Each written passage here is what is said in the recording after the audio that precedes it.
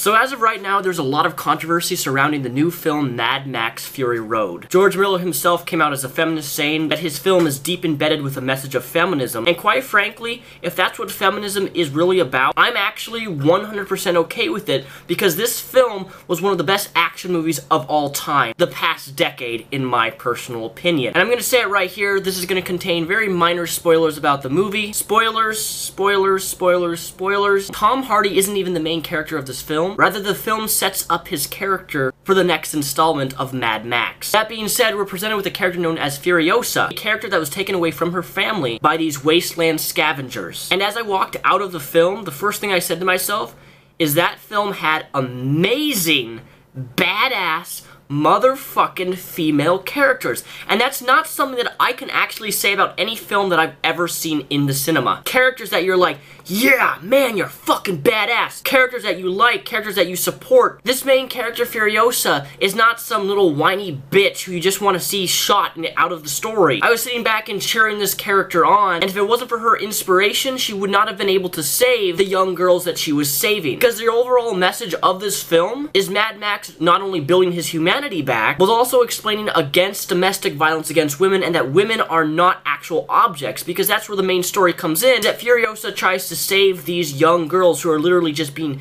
bred to have this guy's children. They are literal sex slaves for this villain. What does she do? She rescues them and tries to get them to freedom, along with meeting up with a bunch of other characters in the process and other women across the wasteland of the desert. And quite frankly, I'm going to say this, this has some of the best action sequences within the past decade decade, if not in the past 20 to 30 years. This movie is a literal roller coaster. I was on the edge of my seat the entire time. At most, out of the 2 hours and 15 minutes that this film runs, maybe at least 20 minutes or 15 minutes at most, the film actually stood still, not in constant motion. Which makes me wonder how long it actually took to produce a film like this, because a lot of the stunts, a lot of the action sequences were actually real stunts.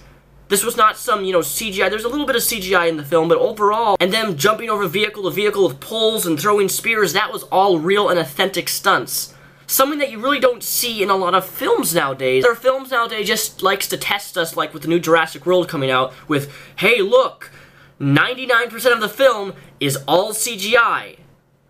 And don't get me wrong, I like CGI, but there is a point where you can completely overdo it I can't take a lot of the things seriously that happen in films when it's so clear always CGI. I personally feel as if films nowadays are constantly trying to compete with who can have the best computer-generated images with things. And I would rather personally have an animatronic robot dinosaur like in the original Jurassic Park with a little bit of animation, rather than the whole film being all, well, animation. But overall, ladies and gentlemen, my fellow reptiles, I encourage you to go see Mad Max Fury Road because it is a fantastic reboot of the original, which if you haven't seen my video I posted two days ago, link down below, Who is Mad Max, which explores his character if you haven't seen the previous three films, a start of my new series, which is going to be try to be a weekly thing. This film will blow your mind away. And yes, domestic violence against women is a serious thing. And yes, domestic violence against men is a serious thing. But I honestly have no problem with the message of this film being against domestic violence, George Miller coming out as a feminist, and the film being about that women are not simply sex objects. I'm not going to critique a film and say this was horrid because of that, because honestly it demonstrated these strong female characters, which, again, I haven't seen done in cinema I don't think ever like this film has done. And because of that, I have respect for George Miller making these strong female characters so badass as they are, rather than always going the typical route of making the character a male. That's my review of Mad Max Fury Road. Definitely check out and check out my video down below from two days ago on Who is Mad Max. And if you haven't already, please check out my Patreon. I've been responding to patrons nonstop the past day, and I have some amazing perks if you want to have a handwritten letter from me or a sexy time Skype call.